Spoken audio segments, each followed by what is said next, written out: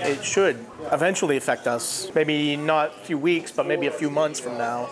Maine butcher shops and grocery stores are bracing for a potential shortage. Florence didn't necessarily hit us with anything uh, meaningful, but it's going to affect the Northeast. That's because North Carolina's thriving livestock industry took a serious beating from the storm. Officials estimate it killed 3 million chickens and turkeys, as well as 5,500 pigs. For us to get all of our product, a lot of it comes from the southern and Midwest, uh, Midwestern states. With parts of North Carolina devastated by flooding, some of that product is no longer there and won't be for quite a while. Workers at Pat's Meat Market in Portland say a shortage could affect them in two ways, not having as many options on the shelf and higher prices.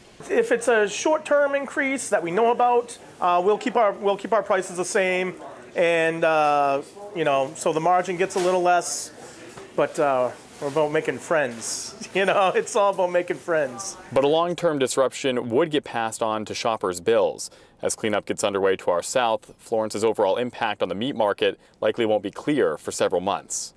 I think uh, if anyone's really concerned, stock the freezer. You know what I mean? Other than that, I mean, we're definitely not going to run out of food.